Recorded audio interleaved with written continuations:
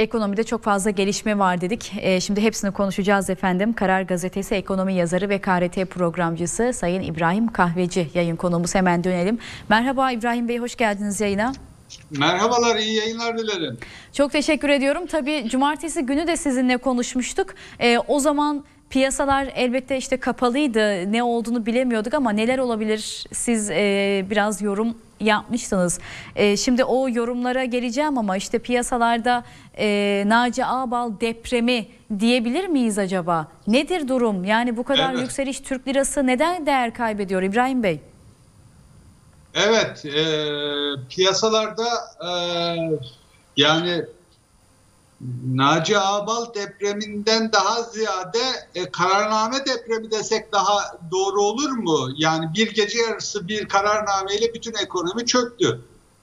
E, ya bu sonuç tabiri caizse beklenen bir sonuçtu. Hı hı. Hani beklenen sonuç bugün bazı göstergeler özellikle döviz kurunda 8 liranın altına gelmesi, geceliğin sığ piyasada 8.40'ları görmesi ama piyasa biraz derinleşince 8 liranın altına gelmesiyle bu iş bitiyor. Ya birkaç güne düzelir çünkü Türkiye'de siyasetin şöyle bir şeyi var aslanım. e, daha önce de iki Merkez Bankası Başkanı gece yarısı görevden alındı. Ertesinde işte piyasalar birkaç gün sallandı etti. Sonra o oturdu yani geçti. Şimdi bakın bir sessizlik hakim. Evet. Ee, böyle en üst perdeden bir açıklama yok. Yapılan birkaç açıklama da işte şer güçler, dış güçler saldırıyor. Ne şer gücü, ne dış gücü yani. Şu anda Türkiye'de bu piyasada en fazla zarar gören son 4 ayda Merkez Bankası'na güvenip yatırım yapan yabancı sermaye. En büyük kaybı onlar yaşadı. Ee, ardından tabii ki ülke olarak biz de kaybediyoruz ama e, bunlar bilinen şeylerdi. Gerçekleşmesi beklenen şeylerdi ve malum oldu. Bu 8 liranın altına geldi diye iş bitti diye kimse beklemesin. Bu iş burada bitmez. Yani e, bu bu konuyu böyle şey yapalım. Bu iş burada bitmez. O halde şunu sorayım. Bu iş burada bitmez dediniz. Aslında kısa vadeli bir çözüm olmuş oldu. Ee, işte e, Bakan Elvan'ın bir açıklaması oldu. Serbest piyasa mekanizmasından taviz olmayacak dedi. Yani e, finansal istikrar vurgusu yaptı. Ama onun sonrasında 8.40'ı gördüğünü biliyoruz sonuçta. Ee, ve bundan sonra bu kısa vadeli belki şu an ki şu anda da geçtiğimiz haftaya göre elbette yüksek dolar. Ama ne yapılmalı? Yani uzun vadeli çözüm nedir İbrahim Bey? Valla aşağı yukarı e, bu konuyla ilgili ne yapılmalı dediğimiz zaman Hı hı. e, burada söyleyebileceğimiz tek bir cümle var. E, bu sisteme veya bu krize ne yol açtı? Bir kere şu tespiti yapalım aslanım. Bir, Naci Ağbal'ın bir gece yarısı kararnamesiyle görevden alınması, yerine getirilen e, kişinin de bir gece yarısı kararnamesiyle gö- göreve gelmesi. Evet. E- efendim benzer şekilde Naci Ağbal da aynı benzer şekilde gelmişti. Evet hatta demiştik o günde bir cumartesi günü geldi bir cumartesi günü gitti diye. Evet, e, dolayısıyla bugün bu benzer operasyonla göreve gelip benzer operasyonla görevden ayrılması e, niye bu kadar ters etki yaptı? Hatırlayalım 6 Kasım sonrası Naci Ağbal'la beraber hatırlarsanız 6 Kasım 7 Kasım'da e, Berat Albayrak da gitmişti. Hı hı. Yani Naci Ağbal gelirken veya Murat Uysal giderken Berat Albayrak da gitmişti. Ve Berat Albayrak gittiği zaman o hafta şu yorumda bulunmuştuk. Boş koltuk teorisi. Boş koltuk bile Türkiye ekonomisinde Berat Albayrak'ta daha olumlu sonuçlara yol açtı. Şimdi bunu piyasa test etmiş. Neyi test etmiş? Efendim Berat Albayrak ve Berat Albayrak ekürüsünün uygulamış olduğu politikalar e, bir rasyonaliteye, bir mantığa dayanmıyor, realiteye dayanmıyor. Ama aynı şekilde bu rantalite, bu me- şey Cumhurbaşkanı açısından da söz konusu. Dolayısıyla Cumhurbaşkanının da enflasyon faiz ilişkisindeki görüşü ne kadar piyasaya yansıyorsa piyasa o kadar bozuluyor. Bunu aslında biz 2013'ten beri sürekli yaşıyoruz. Deneme tahtası olarak Türkiye bunu sürekli yaşıyor. Şimdi gelen başkan, yeni başkan geldi e, ve piyasalar yıkıldı. Bakın bu iş öyle bir günde iki günde olacak iş değil, düzelecek iş değil. Dolayısıyla bundan sonra artık piyasaların düzelmesi veya ekonomiye olumlu yansıyabilmesi için e, sistemin değişmesi gerekiyor. Sistem değişmeden bu gece ben dün gece aslında e, bir seslendim. Yani Hı. ben olsam dedim dün, dün dün gece için ilk rakamları gördüğümüz zaman ben olsam saat 12 olmadan hemen yeni bir kararname yazardım. E, bu sabaha yeni bir kararnameyle en azından yıkımı daha hafifletebilirdim.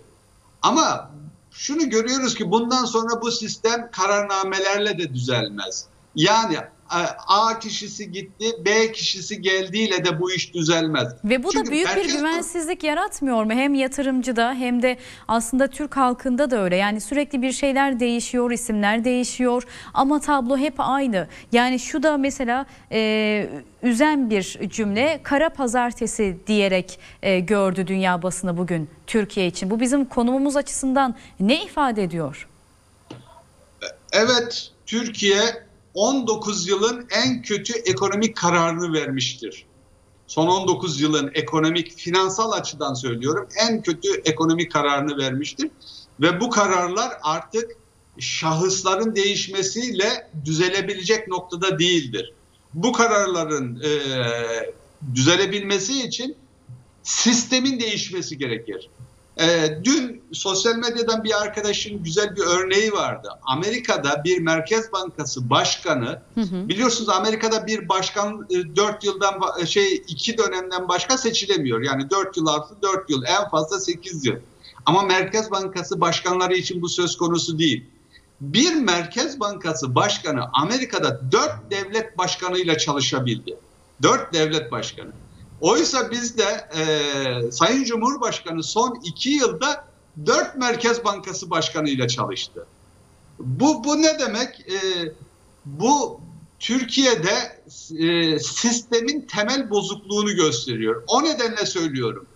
Türkiye'de mevcut düzenin düzelmesi açısından sistemin değişmesi gerekiyor.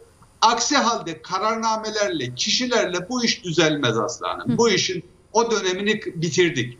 Kararnamelerle ve kişilerle ekonominin düzel düzelme ihtimalini bitirdik. Evet. Yani son e, kişi Naci Abal gerçekten beklediğimizin ötesinde e, kararlar aldı. Bu, bu beklentiler noktasında daha olumsuz bekleyenlerden birisi de bendim. Ben Naci Abal'ın e, bu kadar realiteye dayalı bir Merkez Bankası yönetimini beklemiyordum. Kendi şahsından dolayı değil, Cumhurbaşkanından dolayı beklemiyordum. Hı hı. Hatta ve hatta son geçen hafta Perşembe günü Merkez Bankası'nın son faiz artırım kararını da yine Cumhurbaşkanı'nın bilgisi dahilinde aldığını hala düşünüyorum.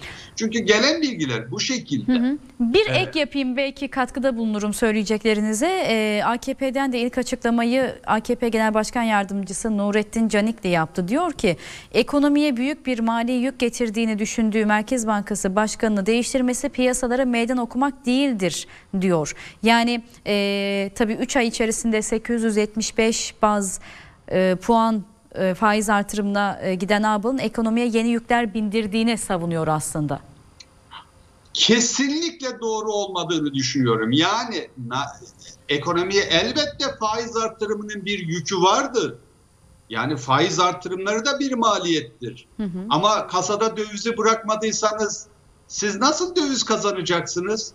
Yani şimdi bir aile düşünün ki e, aile reisi bütün paraları har vurup harman savurmuş veya e, haylaz olan bütün paraları harcamış. E, e, Anadolu'da böyle tabir kullanılır Evet. ya haylazı olan diye.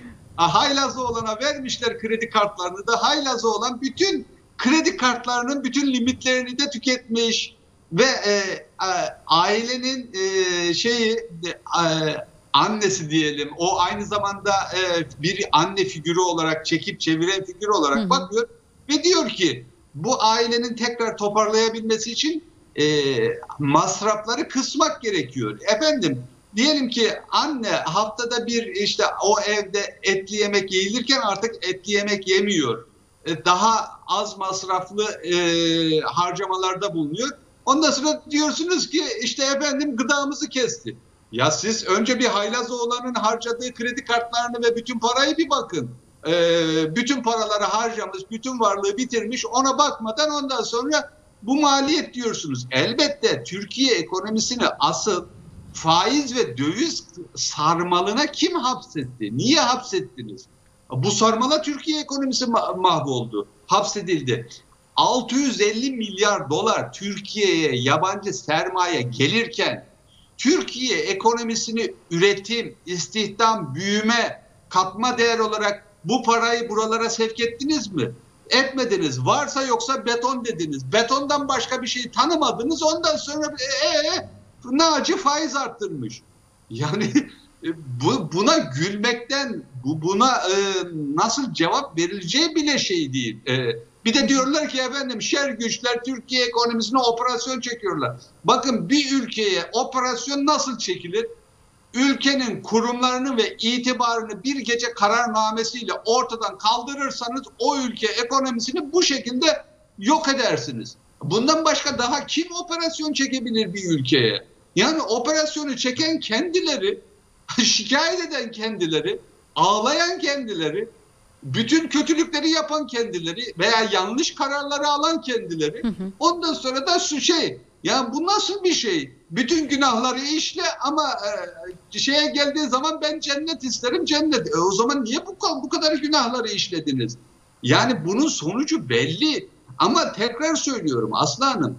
Yani bugün Türkiye'nin kara pazartesisi diyebilirsiniz. Ama sadece bugünle alakalı değil.